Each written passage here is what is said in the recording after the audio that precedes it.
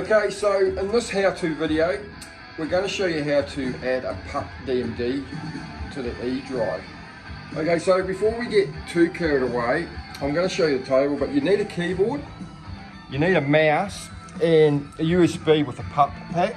Now, we previously did a PUP pack, it's on the drive here in instructions on Gilligan's Island, so we're using the same PUP pack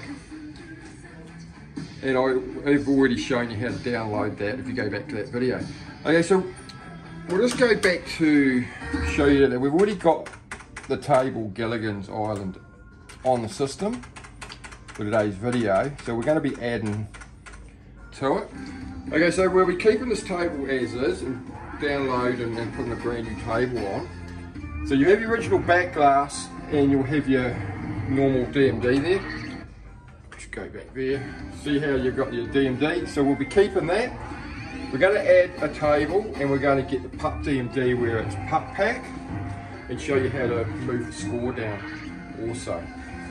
Okay, we'll just exit back out of the desktop. Now there's quite a few steps to this. If you've already watched how to do a PUP pack on the 32 inch back glass, it's very much all the same stuff, but there is a extra part to what we'll have to do. So you've got to follow it very clearly, do everything correctly to what I show you, and it will work. Uh, it takes a couple of times and you'll get used to it. So if we go to recycle bin, I just want to bring up a page.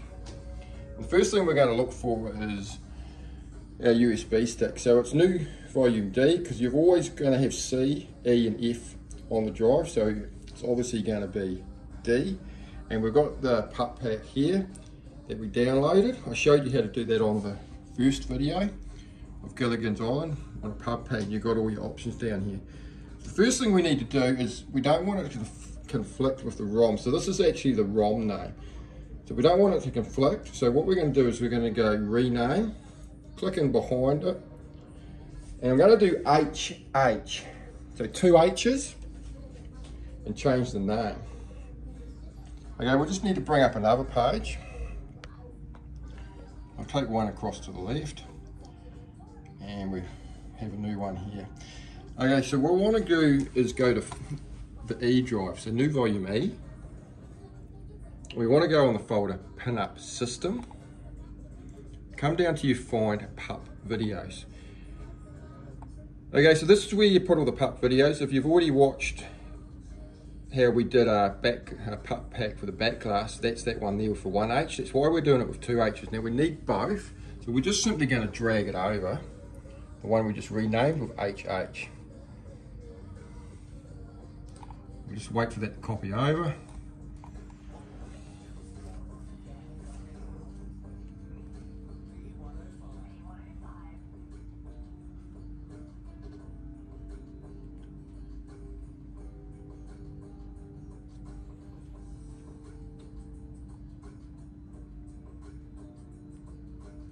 Yeah, so you just got to follow the video guys step by step. There is a little bit to putting in PUP packs or PUP DMDs. Okay, so before we go too far, what we'll do is we'll open this one up with the HH and we'll go right down to the bottom and we're looking for the option PUP pack on full DMD. So you're always going to look for full DMD when it comes to PUP DMD or for the extreme DMD. Just click on that and what you'll see is now it's got these three text files underneath. That's the option you've chosen.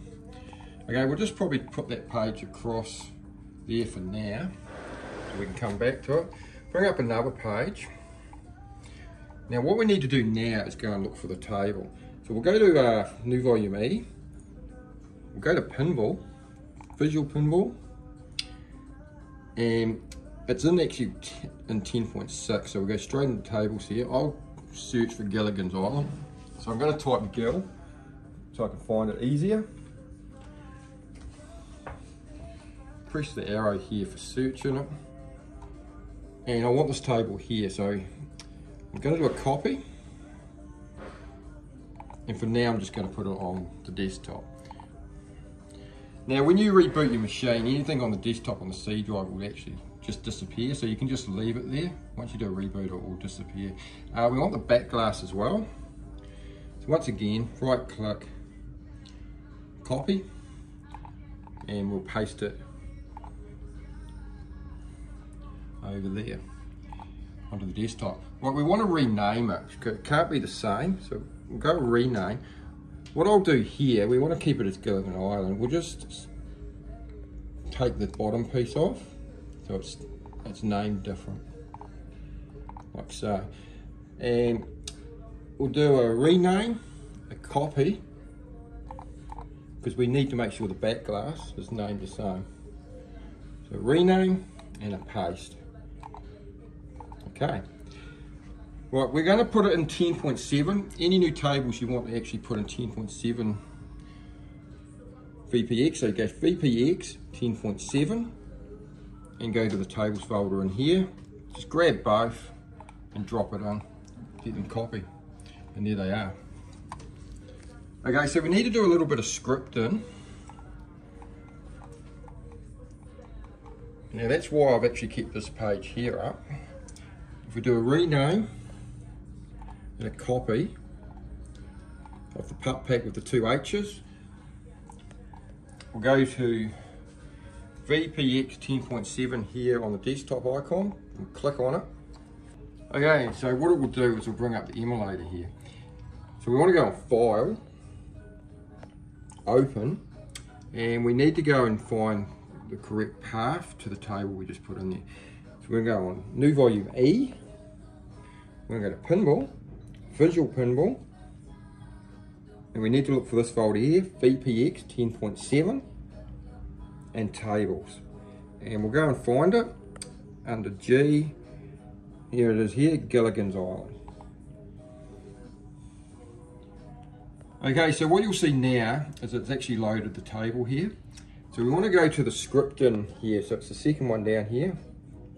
The picture and just click on it and bring up the script. Now we're looking for the game name. So right up here where it says C game name, we want to just copy and paste the pup pack file with the two H's on it. So now you'll see it's got the two H's in behind it. Drag that down a little bit. Click on this. The emulator go file and save. Okay, so we just made it so it's looking for our pup pack as the game name.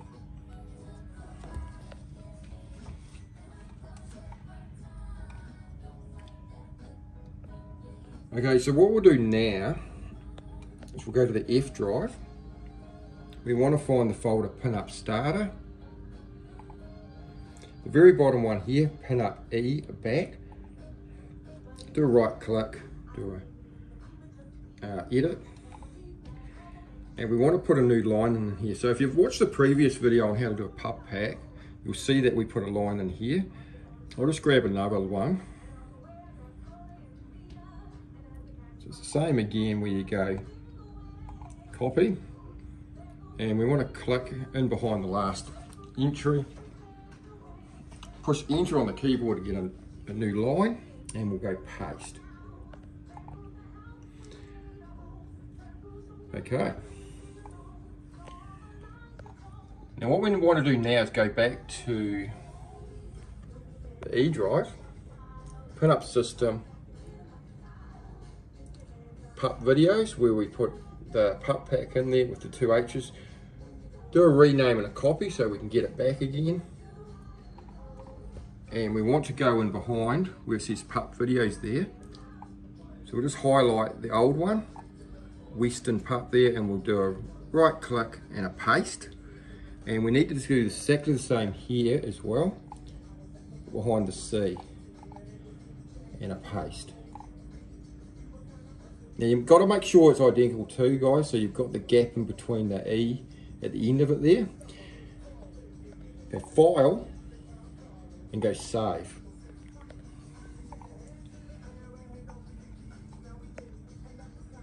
Okay, we'll go to the F drive again. Now what we want to do is we want to make it come up in here. So the new entry, what we've got to do is come over to the desktop here, the icon, the P, this is your system to boot into E. So you do a double left click on it there with your mouse. And to make sure it's right, if we do a pin-up batter, you do a right click. Just go to edit, you'll see the bottom line there we've got the two H's is now showing up. Okay, so we're getting close. What we've got to do now, so there's quite a few things you've got to do when adding pup packs, is we need to go to new volume E, we need to go to pinball folder, visual pinball, and this time we're looking for a folder called V Pin Main. Scroll right down towards the bottom and you'll see an alias text, VPM alias text. Do a right click on it and go to edit. Now we need to put another line in here.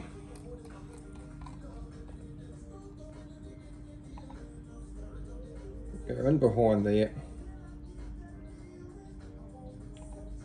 do a paste and you'll see it's the GI underscore 19HH. On the keyboard, put a comma. Then what I'll do is I'll do a paste again. But this time we want to take the two H's off the back of it with the backspace on the keyboard.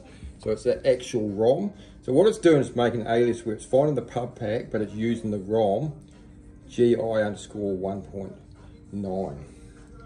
Go up to the top and go File, and go Save. Okay, so we've made the alias, we've put on the table, we've done the pup pack. Now what we do to do now is we actually need to put it into our pin-up popper system, the table. So if we go over to our icon on the desktop here and we go on My System,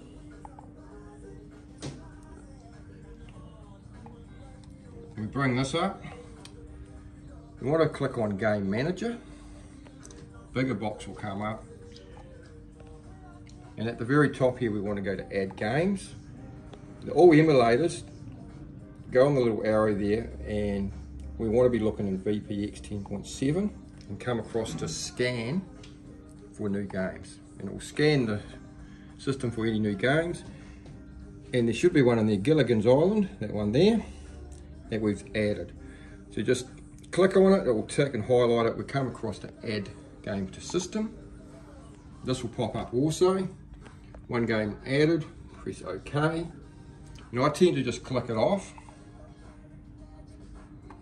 and go to exit and launch. Now all going well, it should be in the system and it should it should be functioning, but we will have to move the score as well. So go to the letters, to search for it and we'll go G and go across till we find Gilligan's Island and there'll be no artwork so you can see Gilligan's Island there it's the one with no artwork now I'm not going to do a video on artwork that's already done a video on that. It's in the instruction videos along with this one so you can go back and watch that one. But we want to launch it and see if we've got it all correct. Oh actually sorry. Before we even bother we've got to reboot the machine sorry.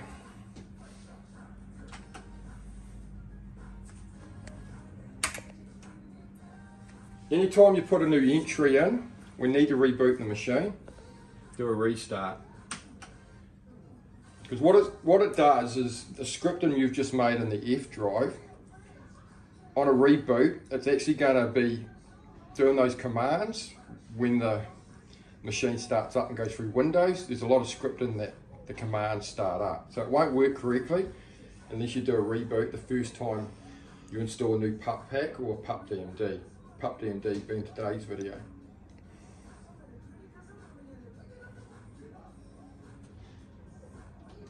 It's very important you do a reboot, a restart when you do a, a new entry like this.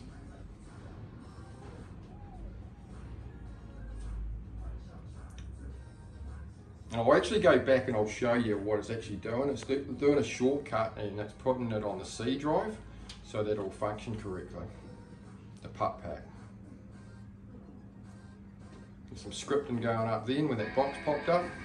Okay, so what we'll do is we'll go back, we're back to G. And we'll look for it. And here it is without the artwork. And all going well, it should be functioning.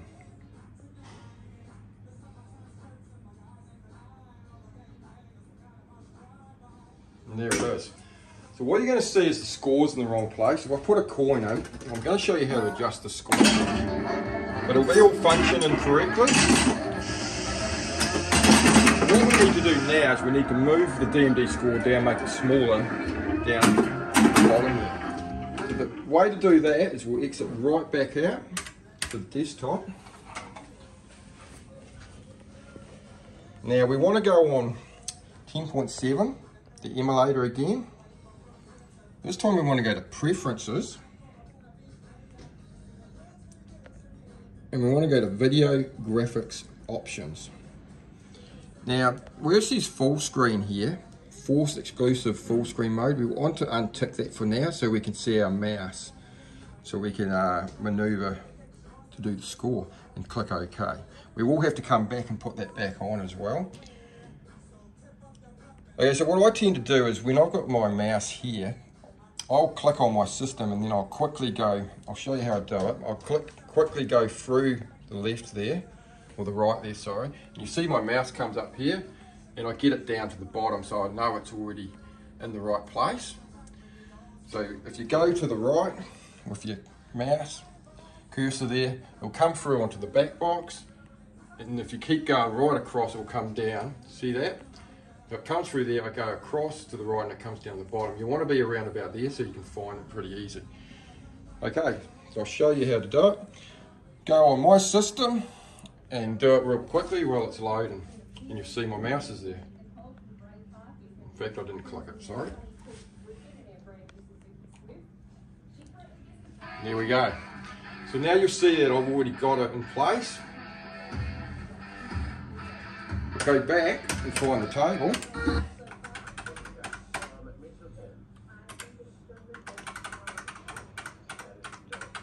Where are you? And there it is, we'll get it loaded. The cool thing about the DMD is you can move it and position it to wherever you want, make it bigger, smaller. Okay.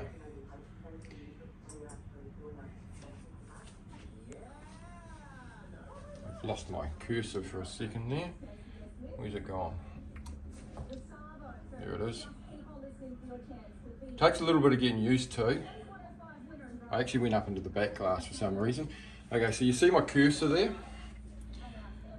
So what we can do is we go down to the bottom corner here. You see where that, that triangle is? You press the left click and you can resize it and go all over the place, make it as big as you want, small as you want, width, etc. So I tend to just kind of line it up in the top corner there, to the left, come back down to the triangle,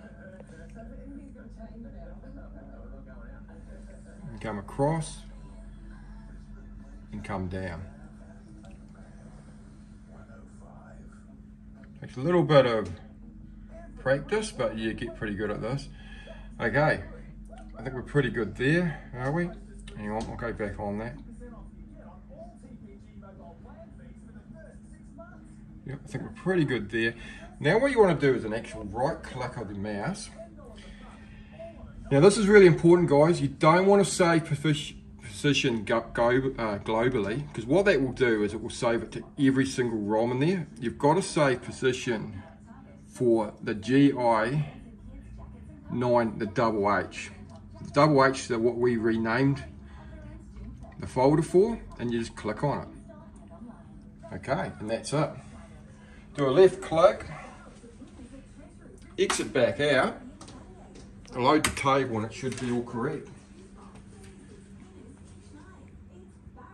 Like I say guys, to get the artwork, it's already on the instruction folders where you are watching this video from, so just go back and watch it, how to do the art.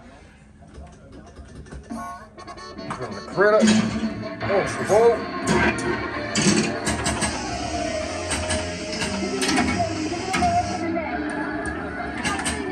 there you go, we have a pup getting decked.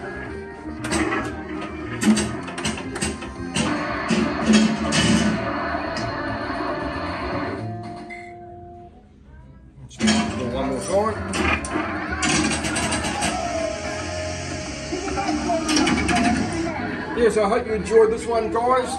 Give it a go. Like I say, once you've done it a couple of times, you get used to what you're doing. Just follow all the instructions, every single one of them. If you don't follow them all correctly, then you're going to come up with errors, etc. So be very careful you follow exactly what I've done and make sure you reboot the machine. All the scripting won't work, all those commands until you do the first reboot after putting all the scripting in there. Okay, sorry guys, I forgot to, I mentioned that I would show you what we've actually been doing. So what we've been doing is we've been scripting everything when we're doing the pup pack as well to run to the C drive, which is frozen. So I want to show you what it's actually doing, and it's why it's important to do a restart. If we go into pin-up system, now these folders are exactly the same as you've been seeing on the E drive, but it's on the C. So you've got pup videos. What you'll find in pup videos though, the C drive's got a lot more ROM folders and pup packs. So we want to go down and find G for Gilligan. And what you'll see is you see how they've got an arrow next to it. That was the pup pack one we did. And the one we just, we've just done on this video here, it's the GI 19HH. And you see how it's got an arrow next to it. So it's shortcutting when it starts and it's putting it into this folder on the C drive so that it'll work. And we go in there and you'll see all the videos are in there. So that's what it's doing guys, is that's why it's important to do a reboot with the scripting from the F drive. I'll just quickly go back to that. Just so you understand what you're actually doing, is the, the pin-up starter we went on. What we're actually doing here is we are putting it from the E drive into the C drive with the double H folder behind it. So that's why it's important to do the reboot and it's all this in the F drive, all these scripts, every time you do an entry like Voodoo as a pup pack, it'll get longer and longer and what it's doing is it's starting up the scripts every time you reboot the machine, every time you start up the machine and putting the shortcuts in there so that it's actually reading from the C drive. Okay guys, that's the end of that one. Thought I just wanted to make it a little bit clearer and explain what you're actually doing there and, what, and that's why it works. And thanks for watching.